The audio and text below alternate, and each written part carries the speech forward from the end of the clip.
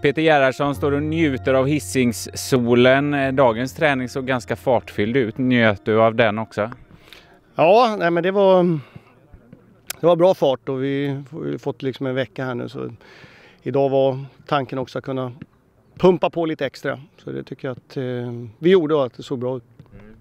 Eh, som du säger, en, en vecka eh, utan matcher. För, för, före det så var det väldigt eh, tätt mellan matcherna. Eh, hur har det påverkat truppen och är det liksom, vad betyder det här att få några dagar extra?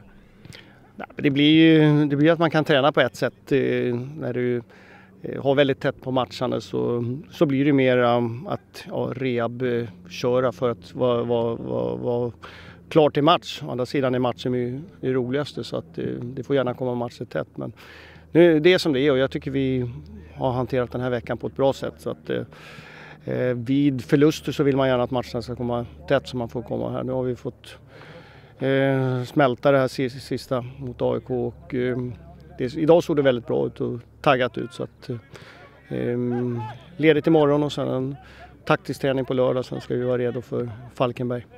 Och nästa uppgift är ju Falkenbergs FF nere på, på IP i eh, Falkenberg. Vad förväntar du dig för typ av, av match mot Falkenberg?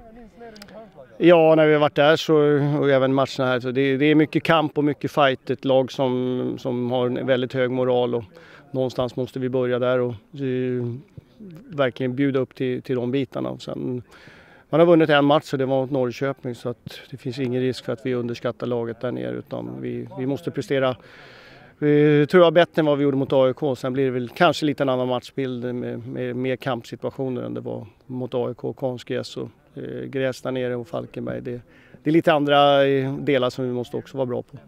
Nycklarna då? Vad, vad är det som krävs av er för att, för att kunna bärga den där segern?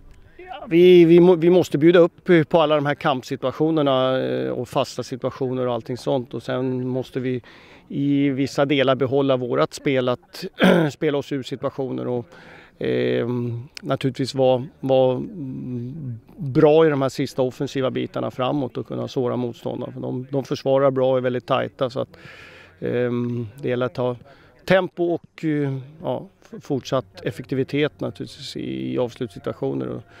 Ehm, det finns väl delar där som, som vi hoppas ska bli bättre än senast.